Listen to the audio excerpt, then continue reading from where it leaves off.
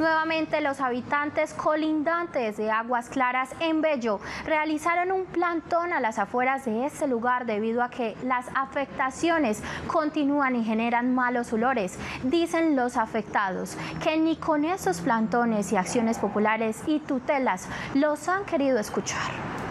Son por lo menos 25 mil personas que viven en cercanías a la Petar Aguas Claras de Bello los que están afectados por los malos olores del lugar. A la fecha ya se han interpuesto más de 8 mil quejas por esta situación. Es un constreñimiento a la intimidad, porque es que los olores no venimos a sentirlos acá, los olores entran a nuestras casas. Eso genera náuseas, vómitos han pasado. Ya hay evidencia de personas que cuando hay olores constantes han manifestado alergias, han manifestado irritación en las vistas. Y adicionalmente, pues le digo, ¿Cómo puede tener una intimidad? ¿Cómo puede uno comer con olor a materia fecal o a cañería en la casa? Dicen los afectados que a cualquier hora del día se pueden sentir los malos olores y que no importa si se cierran las puertas y ventanas, el olor ya es como si fuera un habitante más de sus casas. No es un tema de que, bueno, yo me asomo a la ventana y huele, no, es que se meten a las casas y es imposible vivir así.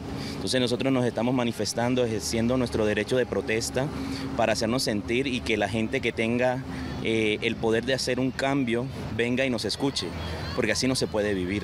Ni con plantones, ni con acciones populares o tutelas han encontrado alguna respuesta frente a esta situación. En este momento se está adelantando una acción popular en el Juzgado 32 Administrativo de Oralidad para que se protejan los derechos fundamentales y colectivos afectados, el derecho a la intimidad, la dignidad humana, porque estos olores entran a las casas de las personas, invaden sus hogares, su intimidad, sus proyectos de vida y realmente hay afectaciones afectaciones morales, psicológicas e incluso físicas que se decantan en violaciones a los derechos fundamentales y a los derechos colectivos.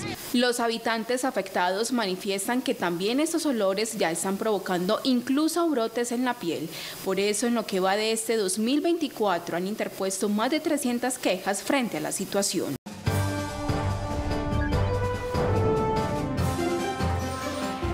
¿Sabías que ya ahora 13 Noticias cuenta con plataformas digitales? Escríbenos para que conozcas todas las opciones de pauta que tenemos para que puedas anunciar tu producto o servicio.